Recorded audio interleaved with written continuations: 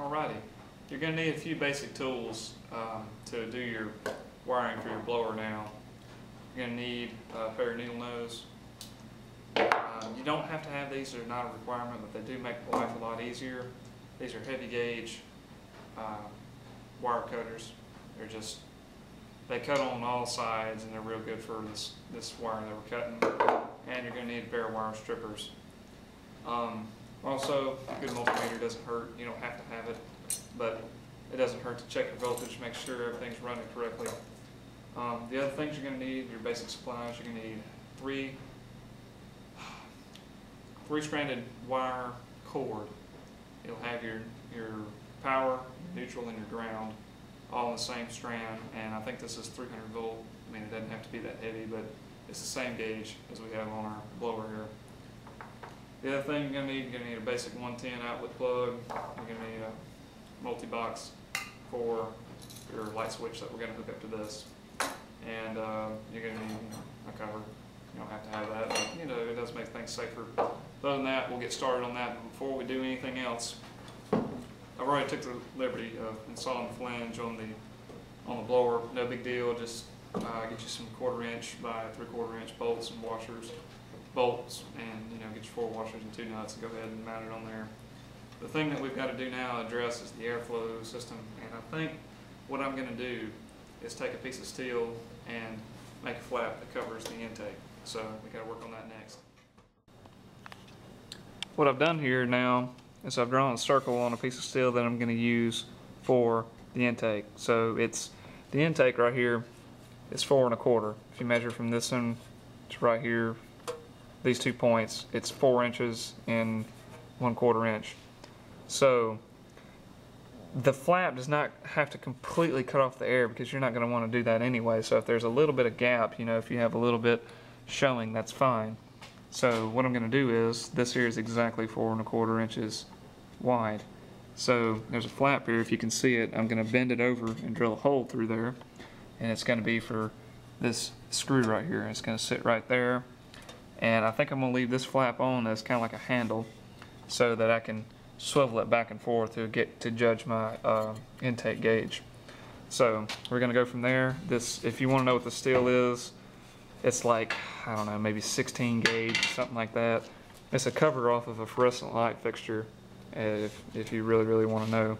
So we'll go ahead and cut that and then uh, we'll get all that done in just a second. There you have it. After it's been cut out, I bent this flap over and I left this one here as a handle and you can just swivel it back and forth. Close your intake halfway, open, and do fully close, which you still got a little gap around here, which is good because you're, you're never going to want to completely close it over because if you're not running your blast at all, then it, it you don't it doesn't need to be running. So there you have it. The air system now We've already got our top flange mounted in here and it's all it is is two quarter inch by one inch bolts and you know washers and nuts and such. And the flange is bolted in there. It's actually centered pretty well. So that's all good there. So what we're going to do now is uh, put the assembly together. Now for the assembly we got our our firing pipe all ready to go. All I gotta do is just screw it in there. So get up under here. One inch.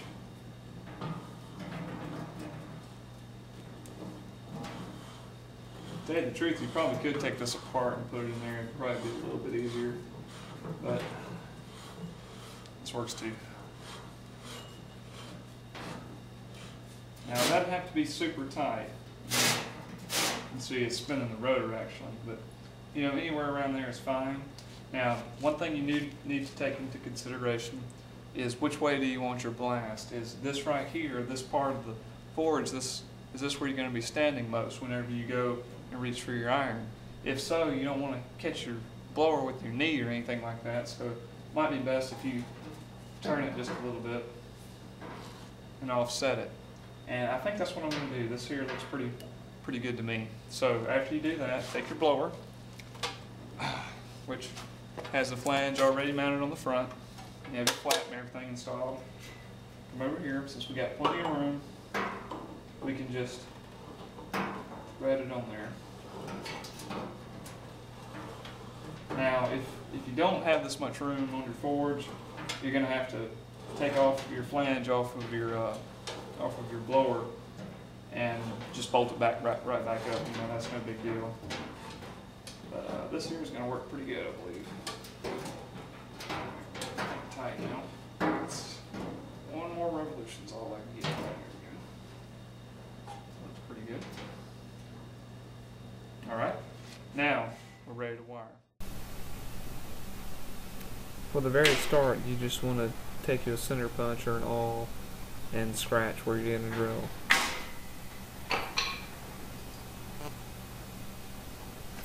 Next, take your drill and drill your two pilot holes. That'll be for your threads. Next, take your tap and tap them out. Remember, you don't have to do it this way. You can just put bolts in through there and with nuts on the back. But this method was a little easier for me.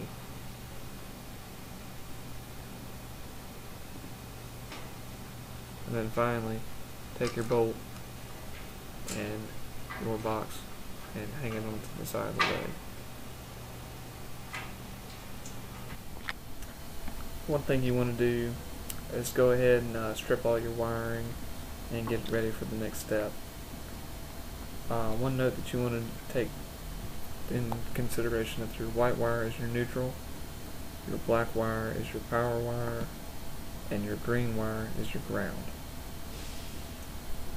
Now then, take your plug, and all plugs um, have a center terminal, or not all of them do. Some of them don't have a ground terminal, but for this case, you, you want it because you have a three-stranded wire. Anyways, take your green wire and connect it to the green nut for the ground post that's in your terminal.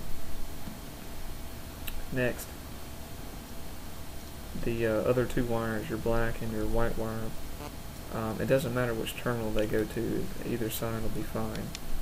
Um, alternating current can flow in, e in both directions, so it doesn't matter which, which way it takes its power in from. Uh, so go ahead and uh, put both of those on, tighten them up snug, and uh, and take your time as you do this. Um, you want to make sure everything's real neat and tidy on the inside because the last thing you want is a bad connection or even worse a short uh, where you can uh, start a fire or uh, trip breakers or you know or or just yeah, anything bad you can you can melt wires in half and all sorts of bad things. But like I said take your time and do it right. Finally once you get your plug done um, take your cover that's for your plug and uh, put it back over it to protect your wires and shield it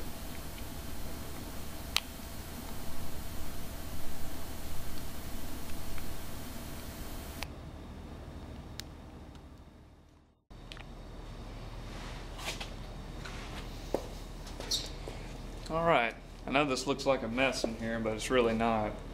Um, and yes, it takes all that just to put in a switch. Now, I'm going to tell you a little bit about wiring, in case anybody out there doesn't know. Um, whenever you're looking at three-stranded wire, most wire that you'll see in common household is what's known as Romex. And Romex has two color-coded wires and one naked wire. And the naked wire is your ground wire. But when you're in um, in this kind of strand, everything's insulated, so you have to know which one's which. Your green wire usually will always be your ground. So in three strand, green wire is ground. Your hot cable will always be black. I know that doesn't make a lot of sense, but it is. And then you'll have a third wire, which is known as your neutral.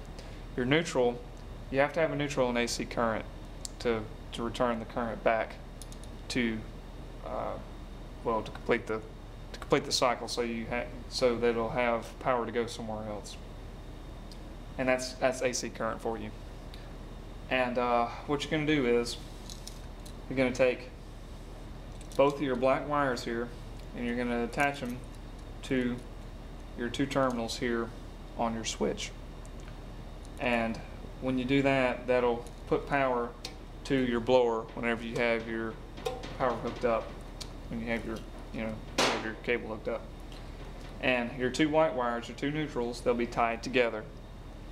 You'll you'll tie them together and then you'll take a little wire nut and twist on there. And then finally, your, both your green wires will go to your ground.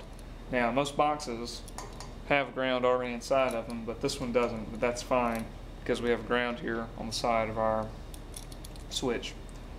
And once you do all that and put it in there, uh, cross your fingers, hope everything works, and it should work fine. All right, we get to test it. Should be good though. All right, ain't shorted out nothing yet. Here we go. Hear it?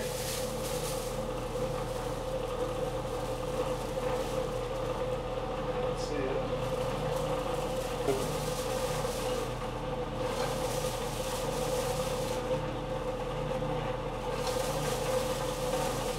Think it's gonna work well.